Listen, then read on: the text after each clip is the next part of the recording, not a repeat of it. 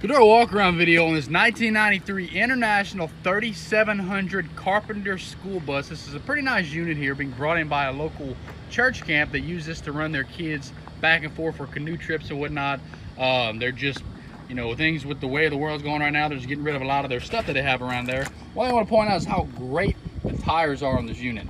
This truck, this uh, bus was on the road running these kids.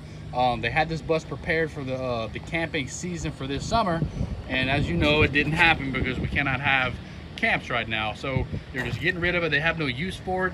You saw the nice steers in the front. It does have the open shoulder grips here in the back with a lot of life left to them. There is also a steer spare on the inside. You saw the picture. The stop signs do fold out and flash. The uh, front yellow marker does fold out and flash. The body itself is in pretty good shape. Only at auction time at Burkhouse Auctions, Willoughby Bob. Thank you.